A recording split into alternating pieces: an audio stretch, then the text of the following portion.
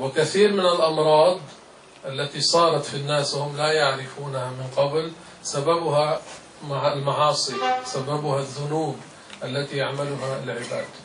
وكثير من الأمراض عرفوا هذا التي تقع بالناس سببها الإصابة بالعين.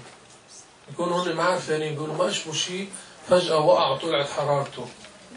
بنقول لهم لأحبابنا إذا ابنكم حلو هتحطوا صوره. بيصيروا بيعرضوا صوره مبسوطين فيه. فسألنا شيخنا رحمه الله هل تحصل الإصابة بالعين بالنظر إلى صورة الشخص؟ أو قد تحصل. فلا شو تعرضوا صوره؟ ولا تفعلوا هذا. لا تعرضوا أولادكم لنظر الناس بلا فائدة. إحنا بخلاف هذا بس نرجع نضبط العباره شو يعني إذا حطينا صورة على الفيسبوك صوره أقول لكم سألنا الشيخ رحمه الله إيه؟ هل تحصل الإصابة بالعين إلا النظر إلى صورة الشخص قال قد تحصل. قال يعني جائز أنه تحصل الإصابة بالعين بالنظر إلى صورة الشخص.